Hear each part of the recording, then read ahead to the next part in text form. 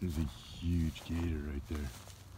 I don't know if you can see it, but oh my gosh. It's massive. It's gotta be at least 13 feet. Let me see if I can get a better shot. All the trees are in the way.